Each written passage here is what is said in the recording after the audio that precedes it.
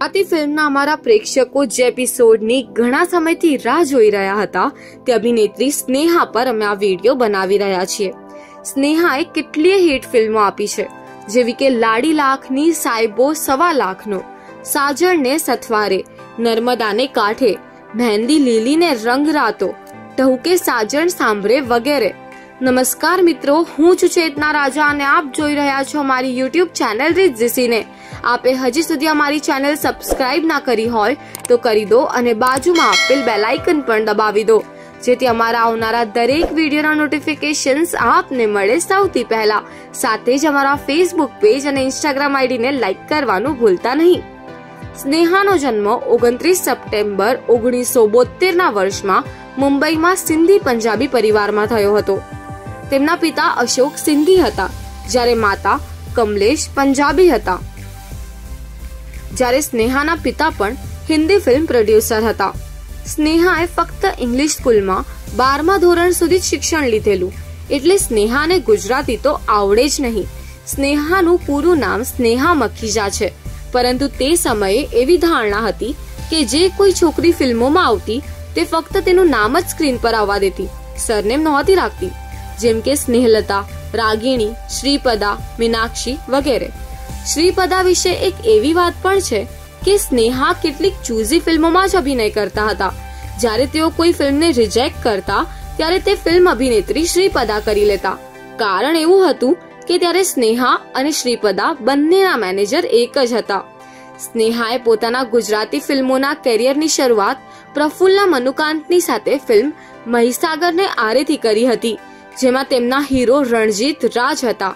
સ્નેહાને પોતાની આ પ્રથમ ફિલ્મ ફક્ત કેટલાક ફોટોશૂટ કરાવીને જ મળી ગઈ હતી.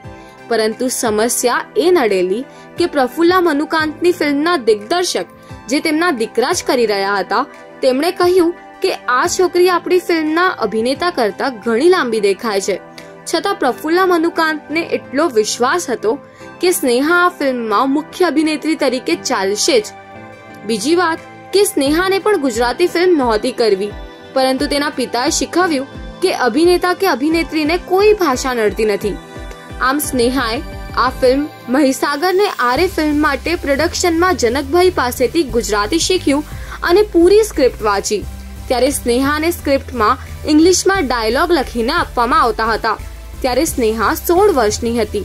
આમ જુઓ તો ઓગણીસો બોતેરમાં જન્મેલી સ્નેહાની પહેલી ફિલ્મ, માર્ચ ઓગણીસો નેવ્યાસી માં રિલીઝ થયેલી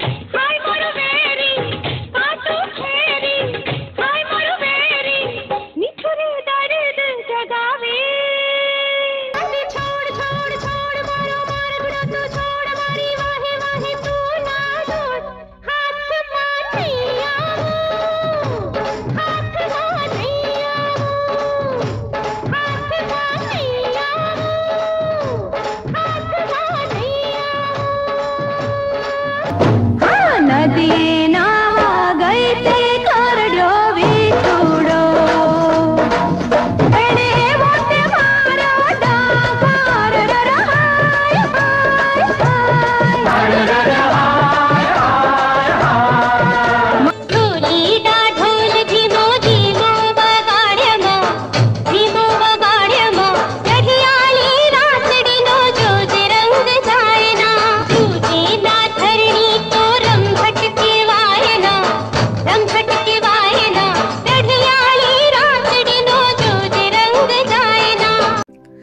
નરેશ કનોડિયા સાથે જ્યારે સ્નેહા હિરોઈન તરીકે આવતા હતા, ત્યારે સ્નેહાની ઉંમર સોળ વર્ષની હતી અને નરેશ કનોડિયાની ઉંમર બેતાલીસ વર્ષની, જેથી સ્નેહા એમને અંકલ કહીને જ સંબોધતા હતા.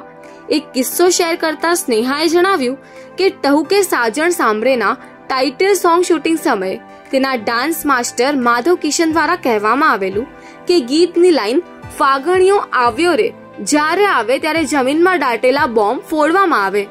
તે સમયે બીજા બોમ્બ હતા જ નહીં, જેથી ફરી રિટેક થઈ શકે. એટલે એક જ ટેકમાં આ શોટ ઓકે થવો જોઈએ એવી સૂચના આપી. ત્યારે તે લાઈન ગીતમાં આવી, ત્યારે માસ્ટરજી સીટી વગાડી બોમ્બ ફોડવાનું સૂચન કરવાનું ભૂલી ગયા. અને કેમેરો ઓફ થવાની સીટી જ્યારે વગાડી, ત્યારે તે બોમ્બ ત્યાંના કોઈ પ્રોડક્શનના માણસે ફોડ્યા. તેને એમ કે બોમ્બ ફોડવા સીટી વાગી. અને જે હાલત ત્યારે ત્યાં રહેલા કલાકારો અને ક્રૂ મેમ્બર્સની થઈ છે તે અકસ્માત આજ સુધી સ્નેહાને યાદ છે. તે પછી તરત તે દિવસનું શૂટિંગ આટોપી લેવાયું હતું. સ્નેહાએ ગુજરાતી ફિલ્મોમાં કામ કરવાનું એટલા માટે બંધ કરેલું કે તે સમયે તેના લગ્ન થઈ ગયા. જેમ બીજી કેટલીક અભિનેત્રીઓ સાથે પણ એવું થાય છે કે લગ્ન બાદ તેમની ફિલ્મ કેરિયર પૂરી થઈ જાય છે. સ્નેહાએ વીસ વર્ષની ઉંમરે લગ્ન કરી લીધેલા અને ફરી લગ્ન બાદ દોઢ વર્ષે સ્નેહાએ મારા મનના છોગાડા ઢોલા જય કુબેર ભંડારી ફિલ્મથી કમબેક કરવાનો પ્રયત્ન કરેલો. હાલમાં સ્નેહાને છવ્વીસ વર્ષની એક દીકરી. હની, સમાયરા છે, જેમણે દત્તક લીધેલી છે અને તેમનો દીકરો ધ્રુવ ચોવીસ વર્ષનો છે. જ્યારે સ્નેહા ટોપ પર હતી, ત્યારે જ તેને કામ છોડેલું. એક વાતનો અહીં ઉલ્લેખ કરીશ કે સ્નેહાની માતાના પિતાજી મૂલચંદ પણ એક સારા અભિનેતા હતા.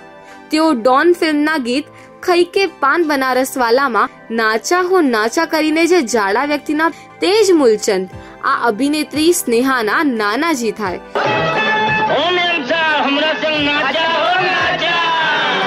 સ્નેહાને સાજણને સથવારે અને ટહુકે સાજણ સાંભળે એમ બે ફિલ્મો માટે શ્રેષ્ઠ અભિનય બદલ મુખ્ય અભિનેત્રીના એવોર્ડ મળેલા છે.